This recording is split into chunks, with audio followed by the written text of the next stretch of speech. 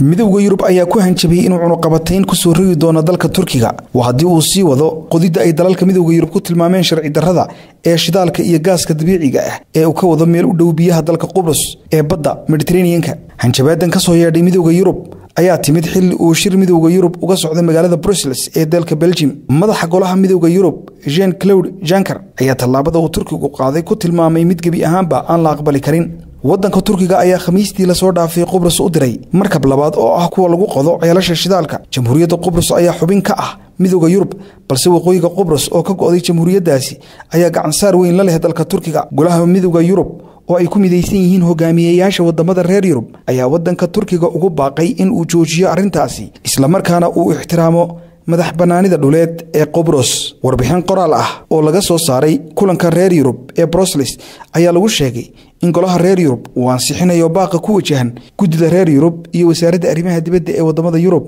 ee ah inay soo hindisaan tallaabooyinka ugu habboon sida in la qaado tallaabooyin leh bartilmaameed cayiman dalka turkiga ayaa ah dalka keliya ee aqoonsan jamhuuriyadda iskeed ugu dhawaaqday madax bannaanida ee qubrusta turkiga ee waqooyiga qubrus taasi oo ka takooran dunida inteeda kale turkiga ayaa sheegay in ceelashaasi shidaalka uu ka qodayo gudaha dalkiisa si waafaqsan shuruucda caalamiga ah. Wakaaladda wararka ee royters ayaa sheegtay in markab laga leeyahay dalka turkiga oo lagu magacaabo faatix uu tan iyo bishii shanaad ee sanadkan ku sugnaa galbeedka qubrusta waqooyi islamarkaana uu haatan bilaabay inuu qodo ceelal shidaal oo ku yaal badda dhexe ee mediteraneanka waddanka turkiga ayaa doonaya inuu ku biiro midowda yurub balse wadaxaajoodyada arrintaasi ku saabsan ayaa hakad galay. Guddida midowda yurub ayaa sheegay in dowladda madaxweyne rajab tayib erdogan ay ka baxday ballanqaadyadii ahaa in ay wax ka qabanayso arrimaha cadaaladda dalkaasi iyo sarraynta sharciga. Waddanka turkiga ayaa gacan bir ah ku qabatay laamaha dowladda ee dalkaasi tan iyo markii uu dhacay inqilaabkii dhicisoobay ee sannadii labada kun iyo lix iyo toban kaasi oo la doonaya in xukunka lagaga tuuro madaxweyne rajab tayib erdogan. Ra'iisul wasaaraha waddanka griega alexis sibras